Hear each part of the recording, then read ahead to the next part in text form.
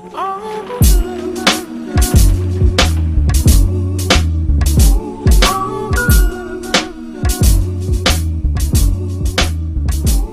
poppin', everybody? It's your boy B. here. Quick run through my push workout.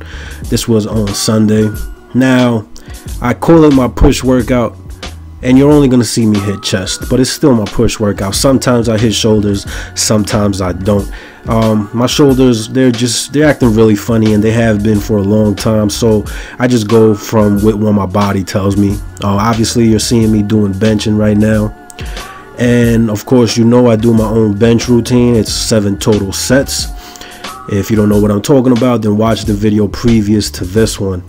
Alright after I finish with the flat bench I then move on, move on over to the incline incline bench press. Now I haven't done incline in about 18 months maybe even longer. And the reason why is it's very uncomfortable for me. I think it's the main reason why I fucked up my shoulder to begin with.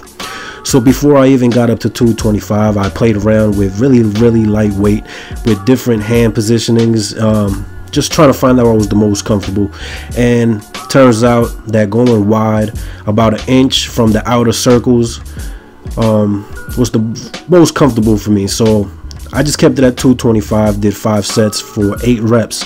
I'll go up in weight eventually once I get back into the swing of things trying to bring bring up that upper chest. You know, just trying to get stronger all around with my pressing movements. I then uh, move on over to this chest press machine. Uh, I really like this. It gives me the option to go with the uh, wide grip or a narrower grip. And since when I bench, I don't go too wide. I just I like this machine because it allows me to go a little bit wider. I get a good pump from this, and I usually keep it very high reps with a good amount of weight. I start to feel a crazy burn after the 10th rep.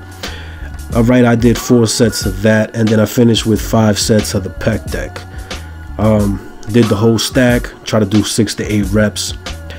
And basically, this is me just working on getting be better at giving hugs and shit. I bear hug the shit out of you, man. Trust me.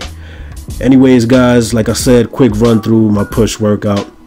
Hope everybody had a good day. Y'all hold it down.